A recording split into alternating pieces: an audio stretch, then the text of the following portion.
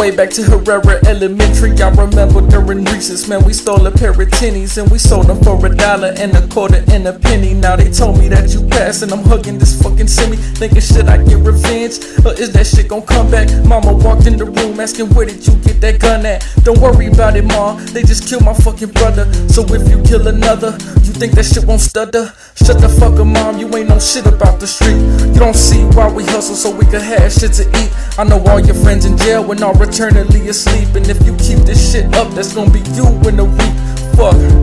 Rest in peace to Manuel Sandoval. I was walking out of church, not expecting a single call. When they told me that you was dead, all I did was just fucking fall. And remember back in the day when we used to hoop and we ball, dog. I ain't too proud to tell you that I cry sometimes.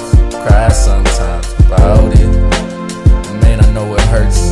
This world was perfect,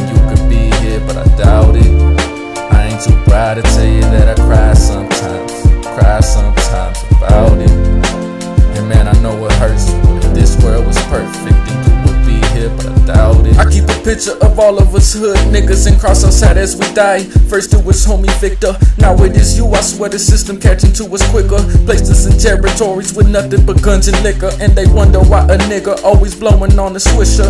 You don't understand how bad I wish I was with you so I could run to my ride. Pop trunk, reach inside. Kill that nigga so slowly, even though it's just for pride. But if I do that, I'll probably lose another Lindell soldier. This World War 3 and it ain't even almost over. They told me don't get revenge, make a change in the streets. How when little kids die over chains in the streets, so I'ma swing in the streets, kickers bang in the streets with my Glock on my hip, screaming your name in the streets. I ain't trying to influence violence, but this Glock could come in handy. This one for your mom and Rose, G and my nigga Andy.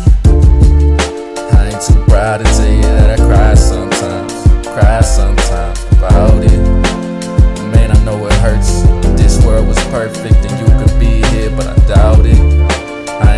Proud to tell you that I cry sometimes.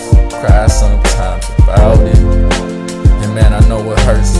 If this world was perfect, then you would be here, but I, I know people it. seen him as another thug from Lindell Park, but he was different. Was actually smart with a heart, but he just played this a part as another son from the hood. People think we no good, but if there was another way, then we would take that route. If people actually support us, but they just think we hoodlum, so we always just resort to the same quarter ounce, trying to flip it to a zip in the studio late, trying to make a fucking hit so we can make it and show everybody who don't know us how hard it is to focus when your mama get a notice that we getting kicked out, so we feel less of a man, so we do what we can, selling droves in the gram.